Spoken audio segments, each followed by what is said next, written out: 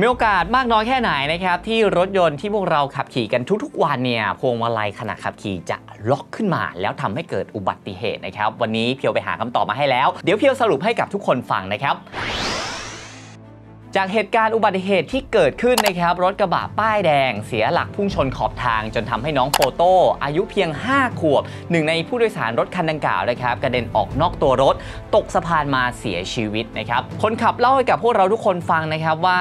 ในบริเวณจุดเกิดเหตุเนี่ยก็คือขับมาอยู่ดีๆปุ๊บพวงมาลัยเกิดล็อกฮะทำให้เสียหลักการทรงตัวนะครับผมแล้วก็พุ่งชนขอบทางอย่างรุนแรง จนทำให้เกิดเหตุสลดตามมานั่นเองนะครับจากเหตุการณ์ดังกล่าวครับทำให้ผู้ใช้รถใช้ถนนส่วนใหญ่เกิดความกังวลครับว่าเหตุการณ์แบบนี้มันจะสามารถเกิดขึ้นได้มากน้อยแค่ไหน แล้วก็รถยนต์ที่เราใช้กันทุกๆวันอยู่แล้วเนี่ยการที่พวงมาลัยมันจะล็อกขณะขับขี่ มันมีโอกาสเกิดขึ้นไหม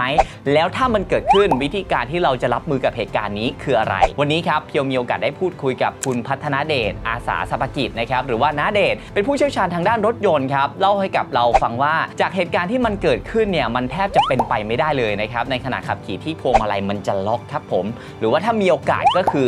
น้อยสุด ๆ ไปเลย กับอีกหนึ่งเหตุผลครับที่ทำให้พวงมาลัยเนี่ยล็อกได้ก็คือคนขับหมุนกุญแจไปที่ตำแหน่งล็อกพวงมาลัยนั่นเอง แต่ว่าลักษณะคลิปที่มันออกมาเนี่ยมันเป็นไปแทบจะไม่ได้เลยครับ ที่คนขับที่ขับอยู่อยู่ๆจะไปหมุนกุญแจไปที่ตำแหน่งนั้นนั่นเองนะครับ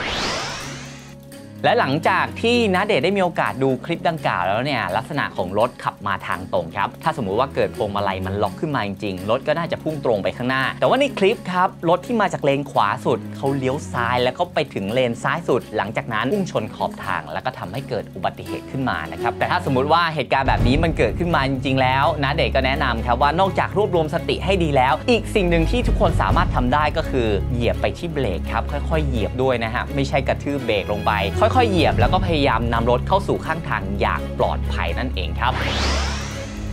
แต่สาเหตุของอุบัติเหตุครั้งนี้แท้จริงแล้วคืออะไรนะครับ เดี๋ยวรอทางตำรวจพิสูจน์หลักฐาน แล้วก็บริษัทเจ้าของแบรนด์รถยนต์คันดังกล่าวออกมาชี้แจงกันต่อไปนะครับ คุณผู้ชมก็สามารถคอมเมนต์เข้ามาพูดคุยกันได้นะครับ ว่าอุบัติเหตุครั้งนี้เกิดจากอะไรกันแน่ อย่าลืมนะครับ กดหัวใจกดไลค์กดแชร์กด Subscribe ให้กับทีมข่าวสปริงนิวกันด้วยนะครับ